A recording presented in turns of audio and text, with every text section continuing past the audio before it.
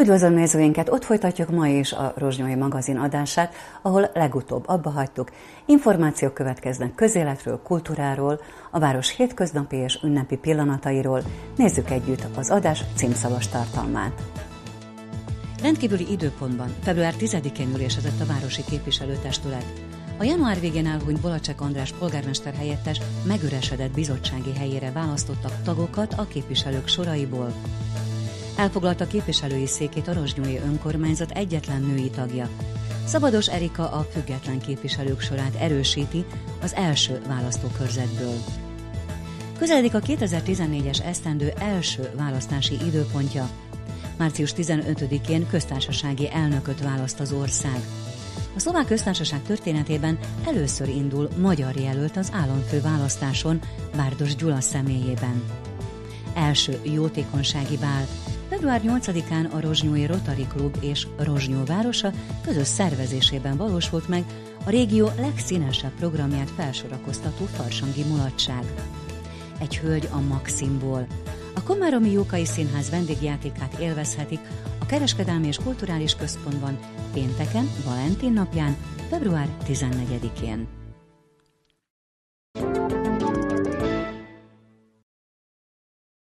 Ez volt tehát a kínálat, és most jöjjenek a részletek. Rendkívüli időpontban február 10-én ülésezett a Városi Képviselőtestület.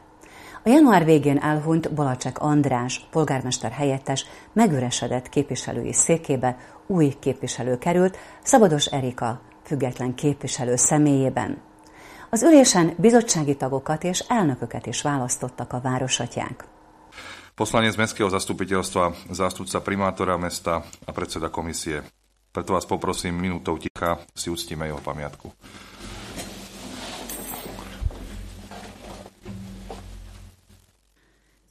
Az ülés elején egy perces néma csenddel adóztak a városatyák a január végén elhunyt Balacsek András polgármester helyettes emlékének.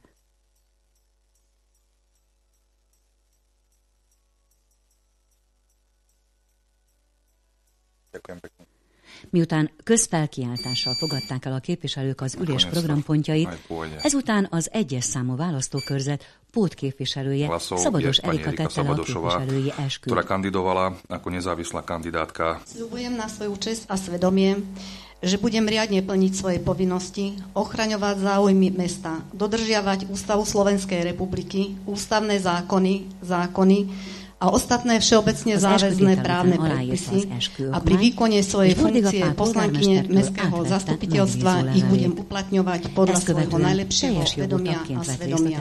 Tak sľubujem. Szabados Erika független jelöltként a 2010-es önkormányzati választásokon az egyes számú választókörzetben 278 voksot szerzett. 2006-tól 2010-ig már tagja volt a Rozsnyói önkormányzatnak.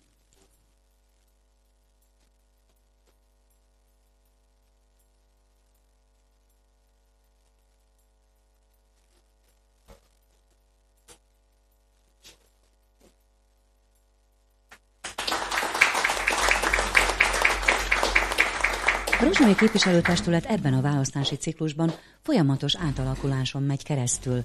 A független Balázs Viktor helyére Ján Lach, a Most Híd párt jelöltje került. A szintén független Dusan Pavlikot az MKP színeiben induló Borzi Gábor váltotta. Ezt követően Vladislav Laciak polgármester mondott le még május végén, majd az időközben a városi hivatalban osztályvezetővé kinevezett független Jana Micsudová helyére került új képviselő, Cyril Motika a Most Híd pártja személyében. Burdiga Pál a jelenlegi polgármester megválasztását és eskütételét követően pedig Lacó Árpád az MKP jelöltje vette át a képviselői posztot. Végül a 2014. január végén elhunyt Bolacsek András megüresedett mandátuma után Szabados Erika foglalhatta el a testület egyetlen női tagjaként a képviselői széket február 10-én. Megválasztása után az önkormányzati ülés a szakmai bizottsági kinevezésekkel és változtatásokkal folytatódott. A közérdek és összeférhetetlenségi szakbizottság tagjai sorába csak képviselők lehetnek. Így a megüresedett független képviselő helyére Szabados Erika került.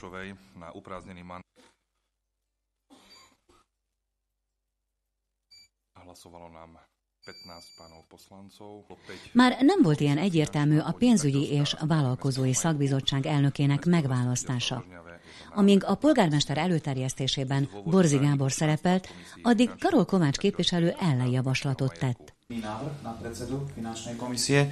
Ja navrhujem, aby predsedom finančnej komisie, alebo teda môj návrh je na predsedu finančnej komisie, aby sa stali bývalý podpredseda, alebo teda terajší podpredseda finančnej komisie, pán bakalár Ivan Kun. Ivan Kuhn, aki az eddigi választási ciklusban látta el a bizottság alelnöki posztját, a voksolásban végül négy igen szavazatot, hat nem és négy tartózkodás mellett a képviselők nem választották meg bizottsági elnöknek.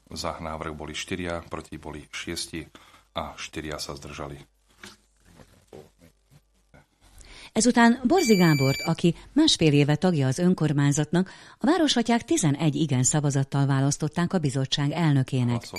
Kis szépséghiba csúszott a szavazásba, a bizottság elnöke saját magára is szavazott a voksolásban.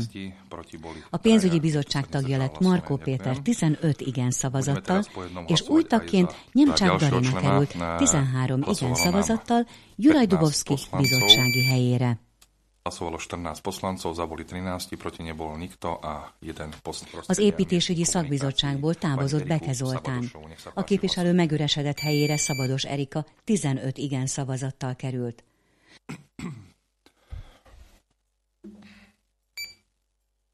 A csődeljárás alatt álló első rozsnyói részvénytársaság választmányi elnöke 13 igen szavazattal Beke Zoltán lett.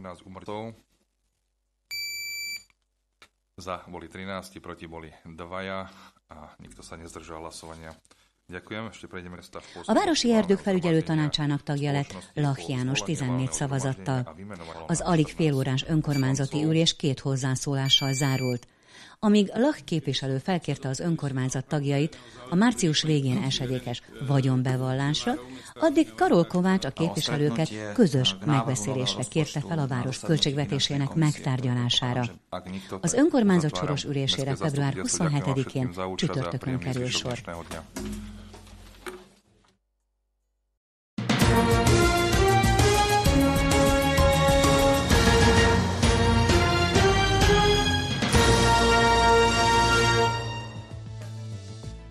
Minden eddiginél több jelöltje lesz a március 15-i szlovákiai államfőválasztásnak. Eddig 14 hivatalos köztársasági elnök jelölt van, ami Szlovákia történelmében eddig a legtöbbnek számít.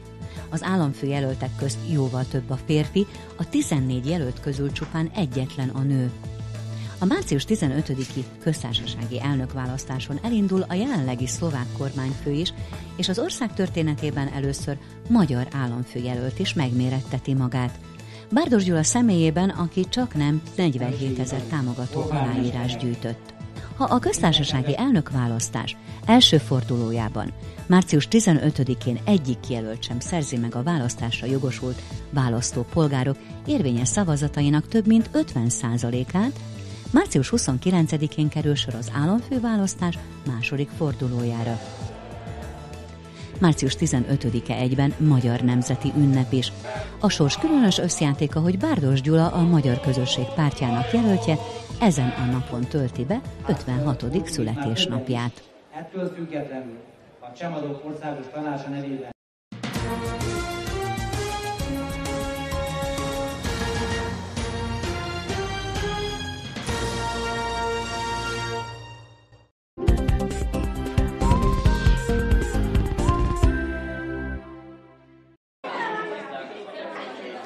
Az egész világból a Diákcsere program keretében középiskolai diákokat látott vendégül a Gömöri régió.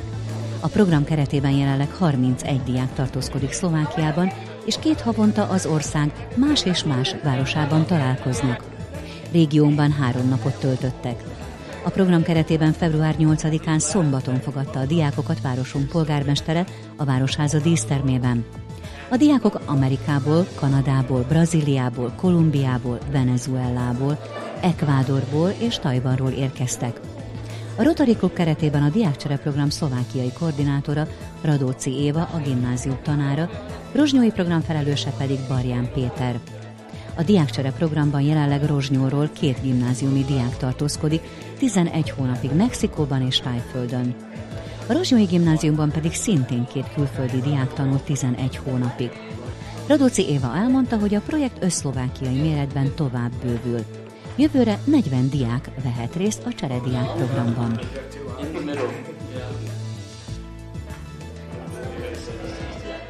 Február 8-án a Rozsnyói Rotary Klub és Rozsnyó városa közös szervezésében valósult meg a régió legszínesebb programját felsorakoztató farsangi mulatsága, az első jótékonysági bál. A társas tánc bemutatóval indult programot a tánc és szórakozás mellett a hazai zenei élet kiválóságai színesítették. Ilyen volt többek között Janko Lehocki vagy Hundzsa István alias Hangya, a Kassai Színház énekese. A szereplők sorában fiatal tehetséges rozsnyói diákok is felléptek. A mulatságban két zenekar húzta a talpalávalót. A tornajai kontraband és Rusznyák Maros népi zenekara. A Farsangi Bál házigazdája Martina Besírová volt. A jótékonysági bál nyerességét a Városháza udvarára tervezett játszótér kialakítására tervezik a szervezők.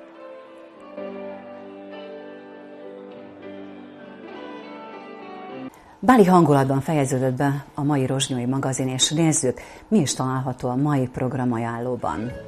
Február 27-én tekinthető meg a Városháza kiállítótermében Roland No Power képzőművész festményeit bemutató a Városházán című kiállítás.